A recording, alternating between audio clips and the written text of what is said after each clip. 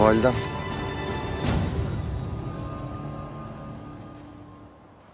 Mert.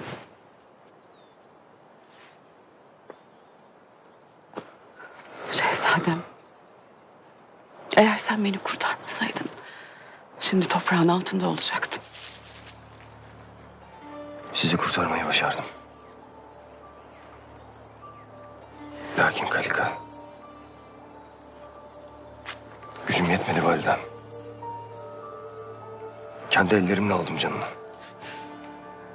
İşittim aslanım. Üzüldüm.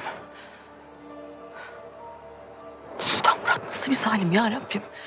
Hangi vicdana sığar bu yaptığı? O kılıç bir gün benim de boynuma inecek validem. Kıyacak bana. Allah'ım esirgesin.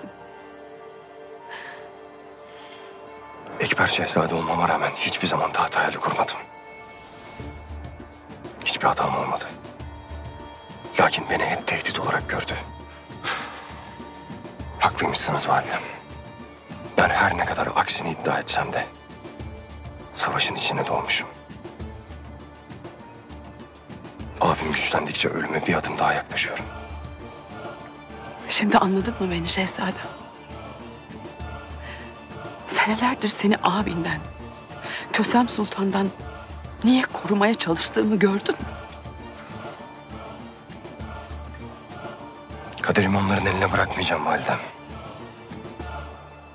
Tahta çıkmak için ne lazımsa yapmaya hazırım.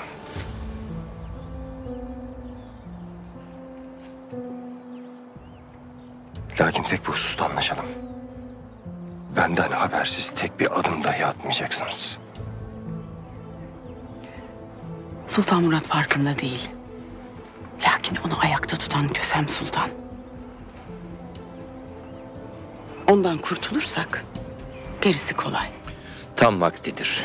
Sultan Murat validesinin divana katılmasını affetmedi. Kösem Sultan eski saraya sürüldü. Korunmasız bir başına kaldı. Mazlumun ahı er geç yerini bulurmuş. Kösem Sultan eski saraya sürüldü demek. Hala. Bir daha asla Saray Humayun'a geri dönemeyecek Sinan Paşa. Gözyaşı sarayı mezar olacak ona.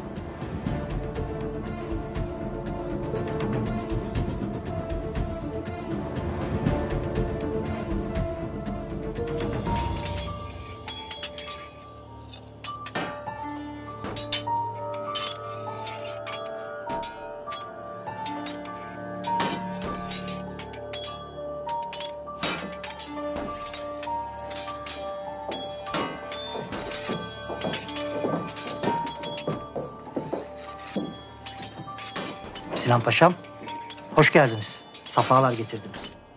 Sefer haberini duyunca askerin keyfi yerine gelmiş. Hazırlığınızı yapın.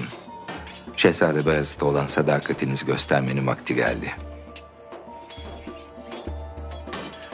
Şehzademizin sizlere hediyesi. Daha fazlasını da gönderecek. Yeter ki siz vakti geldiğinde şehzademizin yanında yerinizi alın.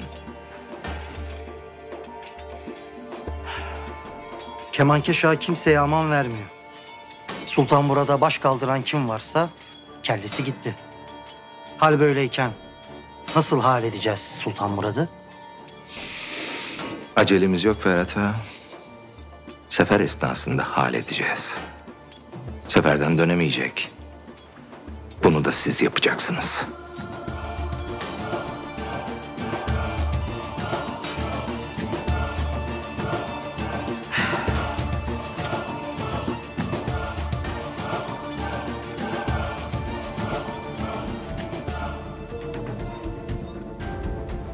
Ocağı ziyaret ettim şehzadem. Yeniçeri içindeki taraftarlarımız da gidişattan memnun değil. Herkes gibi onlar da Sultan Murad'ın zulmünden bıkmış.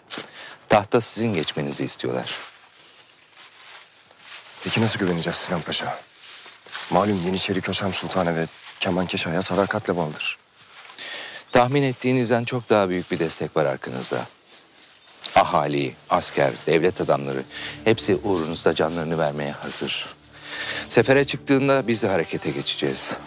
Seferden Osmanlı mülkünün padişahı olarak döneceksiniz. Biz ne vakit bu hale geldik hiç bilmiyorum Sinan Paşa. Ne zaman ayrı düştük abimle. Kardeşten öteydik oysa.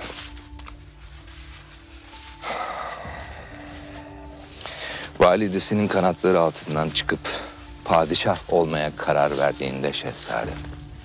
İşte o vakit ayrı düştünüz. Güç böyledir. İnsanı zehirler. Ne dost bırakır etrafında ne kardeş. Tek başına kalırsınız. Ve önünüzde sadece iki yol vardır. Ya zalim olursunuz ya adil. Hünkar abiniz zalim olmayı seçti. Fakat siz şehzadem, siz adil bir hükümdar olacaksınız.